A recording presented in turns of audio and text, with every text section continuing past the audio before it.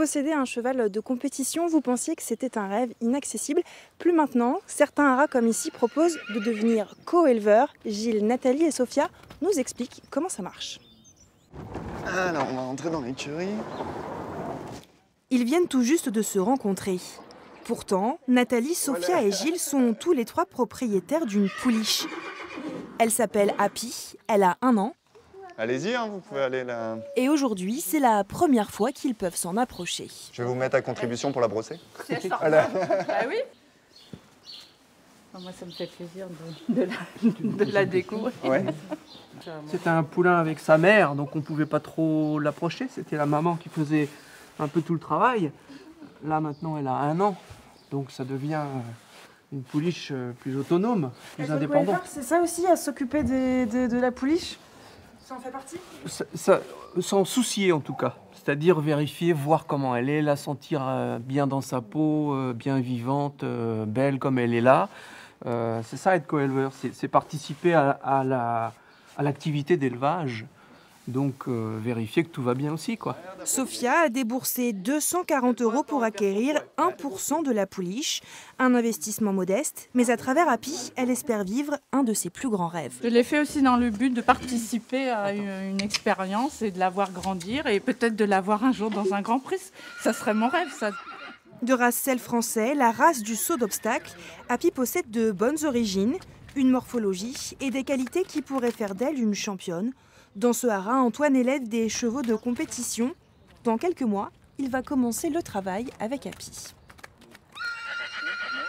Dès l'année prochaine, on va commencer à, la mettre un petit peu en liberté et euh, voir comment elle se comporte sur les barres, euh, c'est-à-dire euh, naturellement, si elle y va avec beaucoup d'équilibre, si elle a de la force au-dessus des obstacles, si elle est respectueuse des barres, parce qu'aujourd'hui, pour un bon cheval de concours, faut, faut qu'ils aiment ne pas toucher les barres. Proposer des poulains en coélevage, cela permet aux haras d'investir dans la qualité des animaux. Avec Happy, ils ont attiré 24 investisseurs, soit près de 24 000 euros.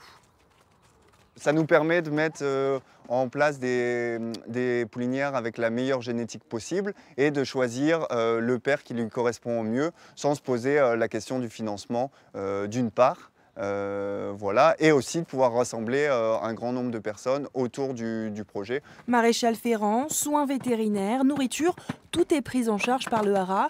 Les co-éleveurs reçoivent des photos et le droit de visiter leurs protégés. Pour Gilles et Nathalie, l'occasion de voir comment font les pros. C'est pas facile d'un cheval de 3 ans comme ça en pleine forme, c'est dur à manipuler.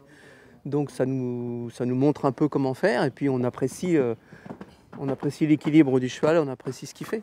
Dans deux ans, Happy pourra commencer à concourir. À ce moment-là, tous les co-éleveurs devront se réunir pour décider de continuer l'aventure ou de vendre leur part.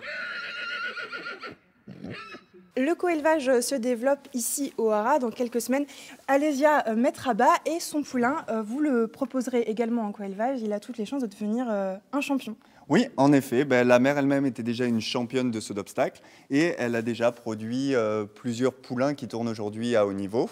Euh, voilà, donc on a choisi de euh, lui mettre un père euh, célèbre, Andy Amos-Semii, qui fait partie de la jeune génération et qui promet un bel avenir à, ce poulain. Voilà, donc si vous aussi vous voulez devenir co-éleveur, eh bien, sachez que pour acquérir 1% du prochain poulain, il vous en coûtera 290 euros.